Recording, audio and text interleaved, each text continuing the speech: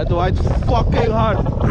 We gaan kijken hoe goed de stabilized mode werkt van eh, de Hero 7.